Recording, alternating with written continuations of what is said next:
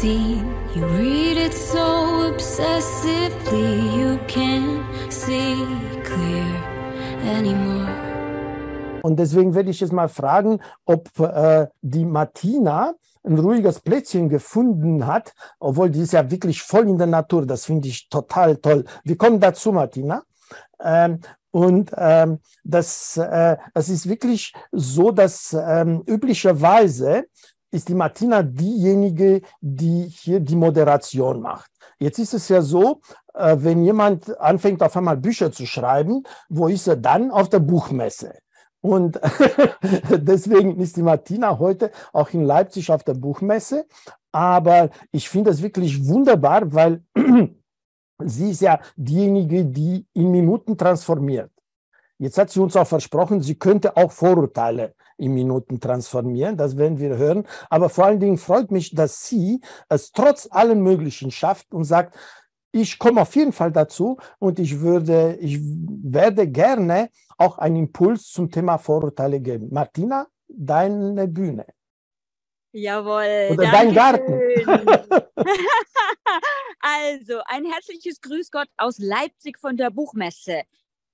Seelenbotschaften, was die Welt jetzt wirklich braucht. Und da schreibe ich über den Frieden. Über den Frieden, der natürlich wo anfängt? Erstmal bei uns selber. Und da geht's ja auch schon los. Ich habe euch heute zwei, zwei praktische Tipps mitgebracht, wie wir es schaffen, aus diesen Vorurteilen auch erstmal zu uns selber, ja, rauskommen. Und ich erzähle euch jetzt eine kleine Geschichte. Und zwar in meinem ersten Leben bin ich Hotelfachfrau und ich habe gelernt First Class Gastronomie mhm. und in bei so einer First Class Gastronomie da ist ja alles ganz ganz schick, ja? Und ich habe dort gearbeitet in Nordrhein-Westfalen in einem Wasserschloss Nordkirchen und im Münsterland. Und da kommt jemand rein, ich war im Service, der kommt rein ein älterer Mann mit einem schmuddeligen Mantel und ich habe das damals gar nicht gewusst, was Vorurteile überhaupt bedeutet, denn ich bin ganz frei aufgezogen mit verschiedenen Kulturen, eben auch kulturmäßig keine Vorurteile zu haben und Sprache bei uns. Meine Eltern waren auch beide aus der Gastronomie und dieser alte Herr kommt jetzt rein mit seinem schmuddeligen Mantel und meine Kolleginnen, meine Kollegen, die wollten diesen Mann nicht bedienen. Und weil ich so kindlich naiv immer noch war als junge Frau, habe ich diesen Mann freundlich begrüßt und habe ihm einen Tisch gegeben. Ich habe das schon gemerkt, dass da irgendwas nicht stimmt. So ein bisschen, so ein Zweiertisch, so einen kleinen Tisch. Gell?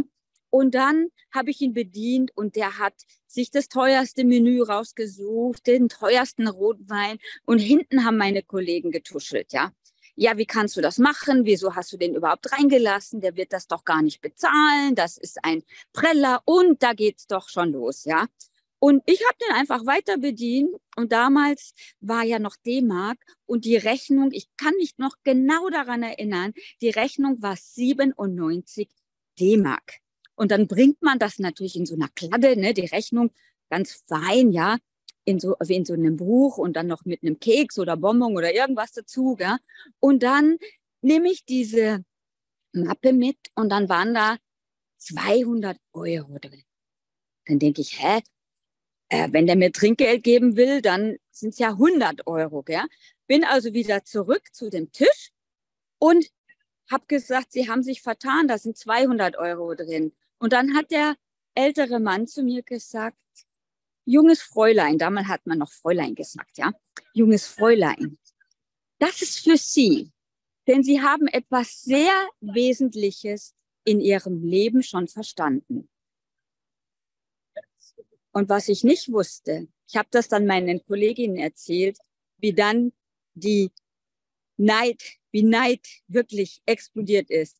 Also ich hätte besser meine Klappe halten sollen, denn für mich war natürlich, waren 103 D-Mark Trinkgeld, ja fast so viel, wie, wie ich damals verdient habe. Ne? Das könnt ihr euch ja vorstellen. Und jetzt komme ich auch schon gleich zu meinen zwei Tipps. Ne?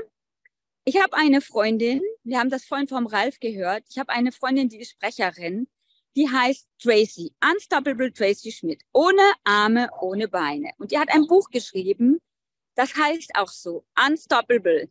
Und sie sagt, bitte sag doch erstmal Hallo, bevor du mich siehst und mich beurteilst. First say hello.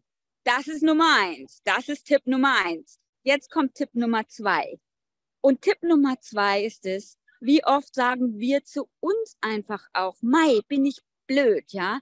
Und meine Chefin hat damals immer gesagt, bin ich blöd? Dann habe ich gesagt, wie programmierst du dich eigentlich, ja? Wir, wir bestehen zu 80, 90 Prozent aus Wasser. Wir wissen, dass Wasser Information ist. Unser Gehirn hat 90 Prozent Wasser. Und wenn ich jetzt den ganzen Tag sage, Mai, bin ich blöd, ja, wa was passiert denn dann, ja? Und dann habe ich damals zu ihr gesagt, du bist genial. Dann haben wir ein Thema zusammengelöst. Wir haben den Drucker zum Laufen gebracht. Dann habe ich gesagt, siehst du, zusammen sind wir genial. Und da ich auf der Buchmesse bin, ja, gibt es auch ein Buch, das heißt Zusammen sind wir genial mit Waller und Karl Gamper zusammengeschrieben. Und da geht es auch um die Sprache, Sprachbewusstsein, um eine Friedenssprache. Wie kommen wir jetzt aus dieser Nummer raus? Und das ist etwas, das gebe ich euch mit, dass wir das üben, dass wir das trainieren. Es gibt ein Wörtchen. Dieses Wörtchen heißt interessant.